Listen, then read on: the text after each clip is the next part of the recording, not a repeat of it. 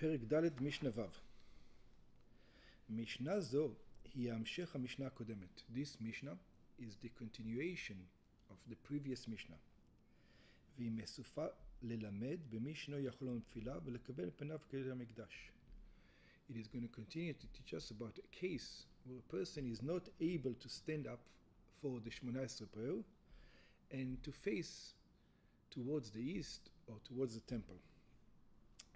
היה יושב בספינה, a person used to sit in the boat, כגון בספינת מפרשים שהפליגה בים, for example with a sailboat that now he goes and uh, that goes on the sea, או בקרון, or that he sat in a wagon, בעגלה שיצא לדרך, in a wagon that's right now is moving, או באסדה, אסדה? אסדה is a רפסודה,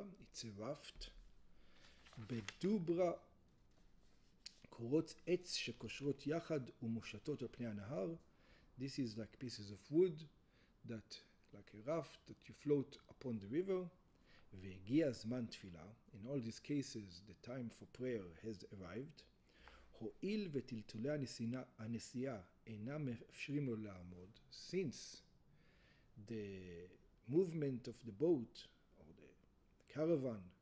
or the wagon that he's staying in do not permit him to stand up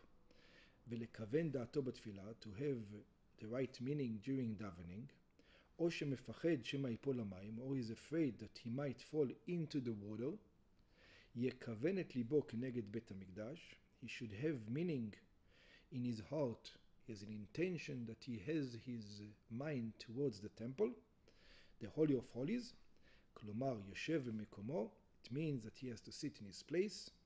ויתפלל תפילת שמונה עשרה, and prayer, the prayer for שמונה עשרה. ויכוון ליבו ומחשבתו, and he has to have an intention in his heart and in his mind, שמתפלל כנגד בית קודש הקודשים, that he is davening um, facing the Holy of Holies, the temple.